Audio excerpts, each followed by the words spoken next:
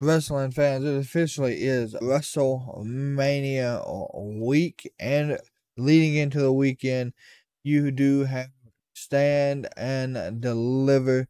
Stand and Deliver is going to be NXT's biggest pay per view this year.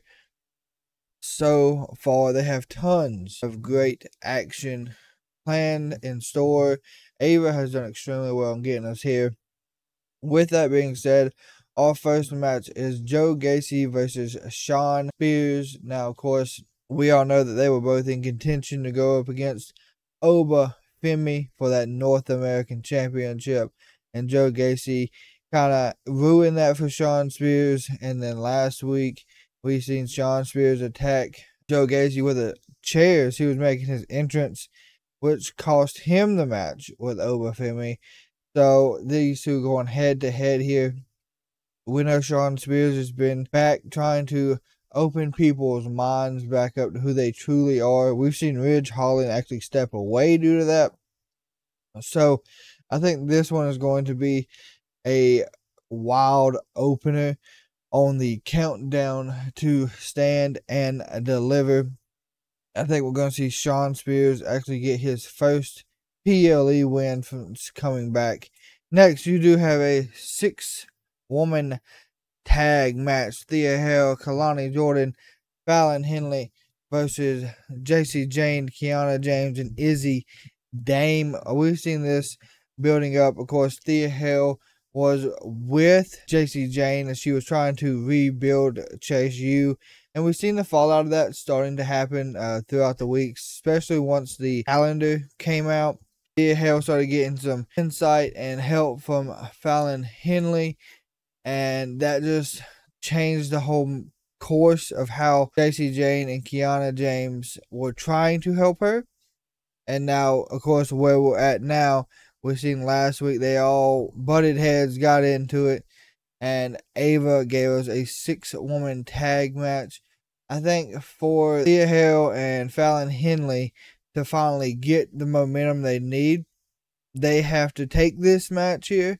But I'm not seeing that happen. I think Jacy Jayne and her new faction that she is building will take the win in the six woman tag team match. You got the NXT Tag Team Champions, Bron Breakker and Baron Corbin going up against Axiom and Nathan Frazer. So we have seen Axiom and Nathan Frazer run the gauntlet, the tournament through NXT over the past couple weeks. And they got a big win in the triple threat tag team finals on NXT. Uh, so they did qualify to go up against Bron Breakker and Baron Corbin. Now, Bron Breakker and Baron Corbin have not defended since they won but we have seen them in action against the Alpha Academy, so we know that they are still going to be used to a lot of high flying action with Nathan Frazer and Axiom. That's the key to this match for them their speed and their agility. But I do not see them taking the titles from Bron Breakker and Baron Corbin unless they have something else planned. If you want to look at it from a call up situation where Baron Corbin could be moved up since Bron Breakker already is. If that's the case, Axiom and Nathan Frazer win. If it's not the case, if they're gonna let Baron and Bron at least stay for a few more weeks, then I would say the uh, Bron Breakker and Baron Corbin win the Wolf Dogs, but give me Axiom and Nathan Frazer truly to upset and take the tag team championships off of the Wolf Dogs.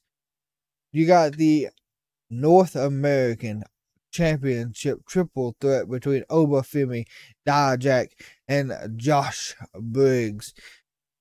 We have seen Oba Femi come in and be absolutely dominant since he arrived there on NXT, taking the title off of Dragon Lee when he cashed in his contract. So, if Oba Obafemi can just be dominant the whole match, you would think this would be a cakewalk for him.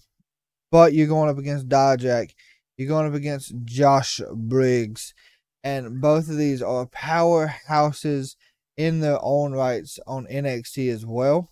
But all actuality, all looking over this, this is gonna be a great opportunity for Oba Femi to actually show what he is capable of truly when it comes to competition in NXT. We know he's dominant. We know he could do this on the main roster probably already just because of the ability he has shown. But I think this is time for Josh Briggs to really show out.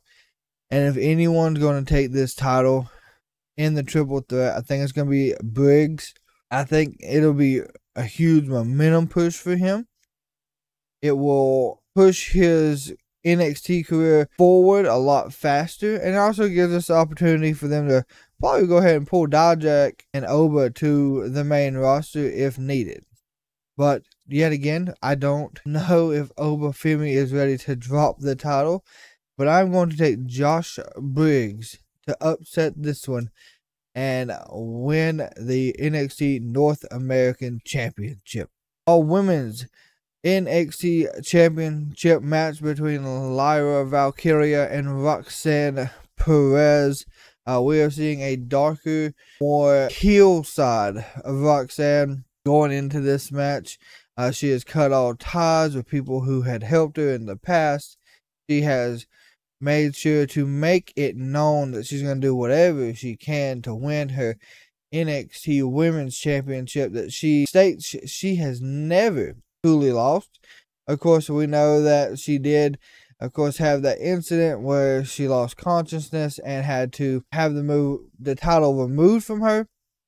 Due to that, um, we seen her try to get a get it back in a ladder match, uh, but of course we all know Indi Hartwell got it there. Uh, she also almost had it at Vengeance Day, but she uh, she got interrupted by Lola Vice. So she's not happy with where she's at in getting her title back. Uh, Lyra Valkyria, on the other hand, took the title away from Becky Lynch and has been a fighting, defending women's champion. So, with that being said, I think that we're going to see Roxanne Perez get her title back and become the new NXT Women's Champion. The Mad Dragon Ilja Dragunov and the Don of NXT Tony D'Angelo go one on one for the NXT Men's World Championship.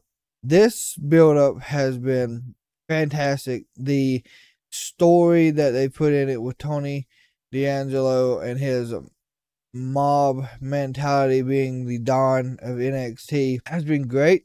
I think it's time for Tony D to get a title besides the tag teams that he did get with Stacks. I do believe that he has that ability. He could run it. And I do believe it's time for Ilja Dragunov to be moved to the main roster and get his taste of what Monday or Friday nights can be for him. So I am going to say the family will get gold once again, and Tony D'Angelo will get the NXT Championship. Our main event of Stand and Deliver Trick Williams going up against Carmelo Hayes.